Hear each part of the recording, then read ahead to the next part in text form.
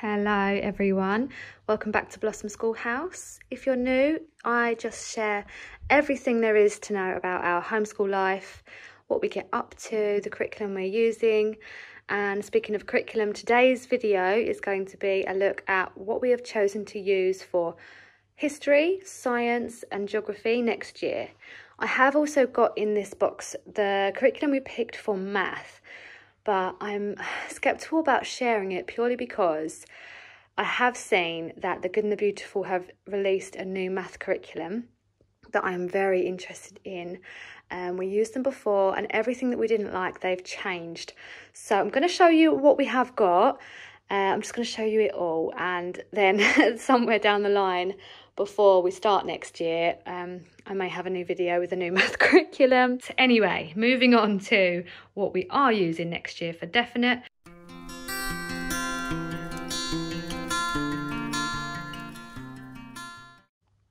I have already shared a video on what we're using for language arts and you can find that. I'll put the link for it in the description. Um, so I have already shared the language arts, but everything that comes in the packs I'm going to share today that's in these boxes here as well. So you'll still see what we're using for language arts as well if you haven't watched that video. So the first thing we have is our science curriculum. So we've gone with Heaven and Earth for Beginners and this is by Master Books under the God's Design curriculum. So you may have already seen we've been using the Master Books God's Design Science this year, which covers human body, plants and animals. And we've really, really enjoyed it. We're still in the human body, which is our third and final unit for that book. And we're going to be working our way through that. Hopefully we'll finish by the end of this year. But if not, we'll probably work on it a little bit over summer and then start this one once we've finished. We really enjoy the layout of these lessons. There's always an activity, a suggested experiment that you can do that's usually really simple as well and easy. Um, this covers weather, water, the earth, space, the moon, planets, everything. So everything on earth and in the sky and universe. Okay, next in here, we've got language arts. As I mentioned earlier, I have done a full video on the Good and the Beautiful Language Arts Level 2 and Level K. Uh, so you can find that video if you want to see more inside and why we are really excited to be using the Good and the Beautiful again for language arts. And I'm also just going to share what we've got with that set. So we've got the course book and then there's two readers, a shared reader for her to read with me and then a personal reader, which is quite a lot bigger actually. So I think the lesson will tell her to spend a certain amount of time reading in her personal reader and then at various times, she'll be directed to have a read with the shared reader with me. So I'm guessing we'll share the reading portion in this reader too. And then I grabbed the full set of the phonics cards because both the level K course and the level two call for these cards. So I just purchased them with the level one and I'll use them with both children. And then I actually grabbed these flashcard spelling rules as well. And I think they're wipe clean as well. And it tells you the 13 most consistent and important spelling rules. And it just means that they can practice them. So these are featured throughout the course these spelling rules. So this is just an extra for practicing. So we've got the language arts for Miss 5 in here as well the level K of the language arts from the good and the beautiful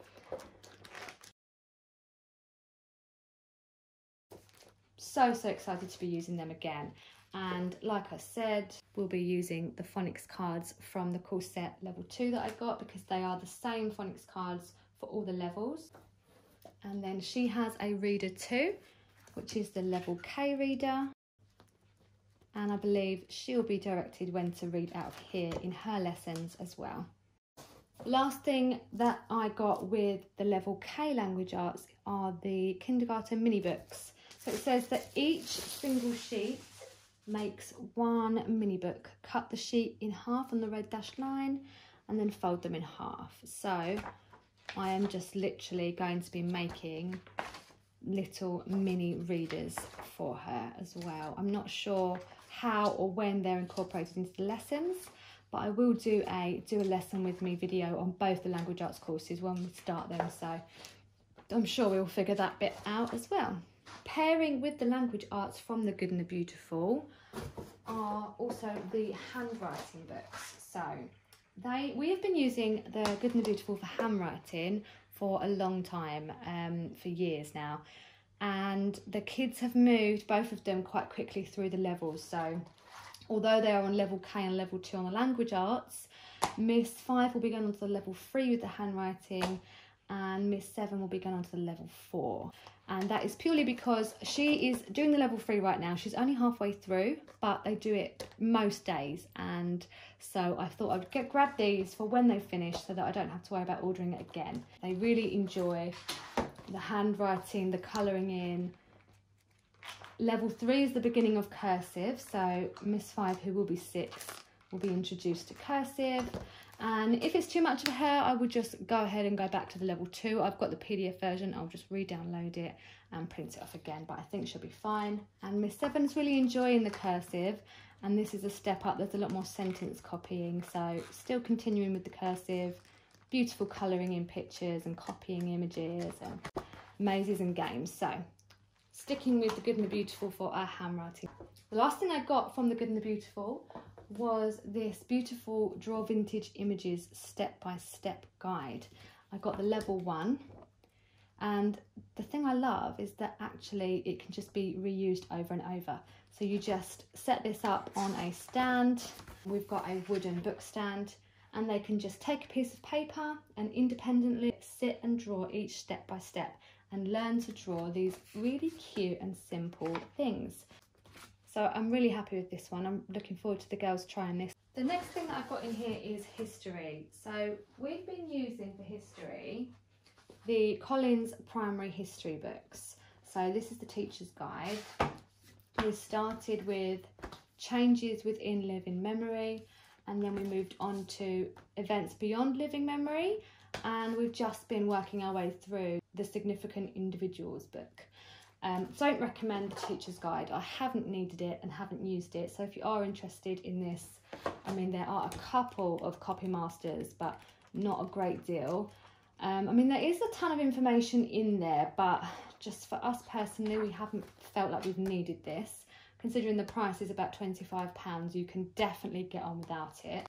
And it just works in simple units, um, broken down into two or three lessons that you can expand um, or just read through them all in one day. We've done both of those things. We just recently did Henry VIII and it gives you a nice background on Henry VIII. There's these great portrait pictures in here. These are really helpful. They're featured throughout the curriculum. It just explains some of the words that children might not know. And then at the end, it just prompts you to have a think and to do an activity. And then it moves on to the next unit. So these have been great. The fourth book in this series is Stone Age to Iron Age. So I have had that in my Amazon basket for a while, but I was not 100% sure if we was going to be continuing with these. I am going to buy that, that fourth book and we are going to still pluck out different lessons from there. But as Christians, I did feel that we were lacking history from a Christian point of view. So I looked into the mystery of history. I bought this from christianbook.com and I did have to pay shipping once again. Everything good is in America. Um, so yeah, so I'm really excited about this one. This is the Mystery of History Volume 1, Creation to the Resurrection. Now this is not just Bible history, this is world history but from a biblical perspective. It's broken down into weeks. So week one is creation, Adam and Eve, and then Jubal and Tubal Cain and then we've got Noah and the flood, the Ice Age, and then dinosaurs. There is Stonehenge, early Egypt. So I'm really looking forward to starting this one.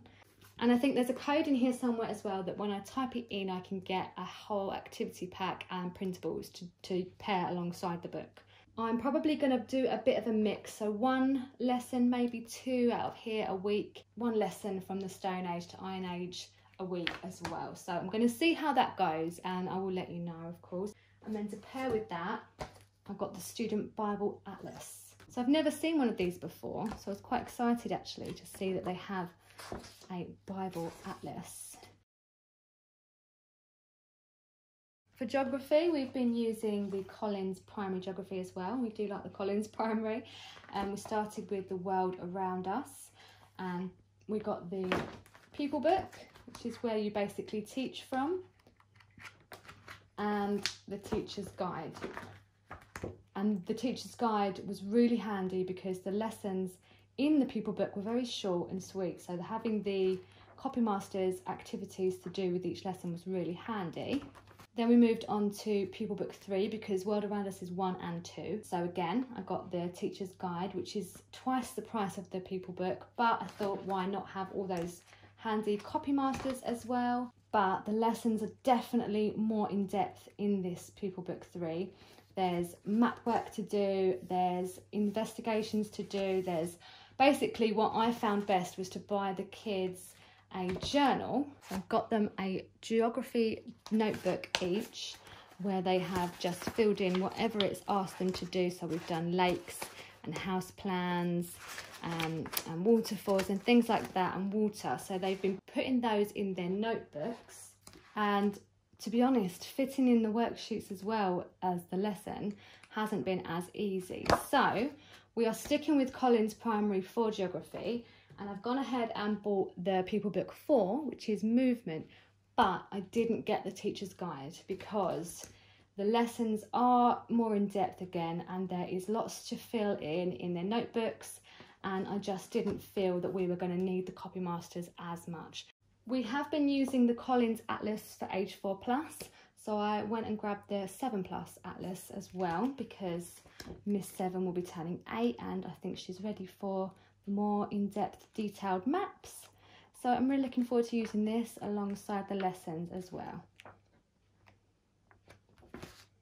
Okay, so you've seen geography, history and science and our language arts and the last thing I have to share is math and I've gone back and forth about whether or not to even share this because I am still undecided but I did purchase math curriculum for next year.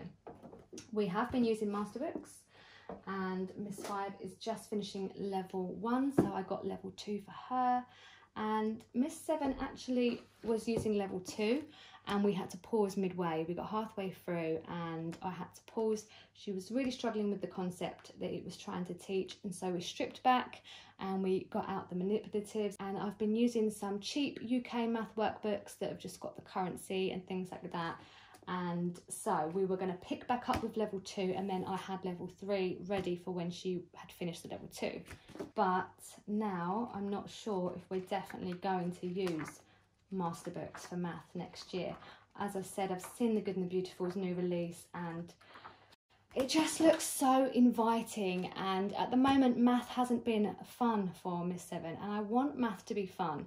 I want her to see that God designed numbers and patterns and that everything, math is in everything and it is everywhere.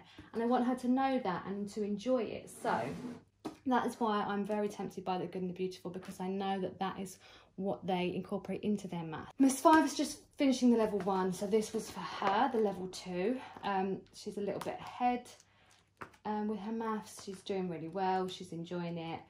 But same thing really. Um, this is great. It's a really great math and it's not overwhelming. It's nice and gentle and simple, but still covers all the core uh, subjects of math.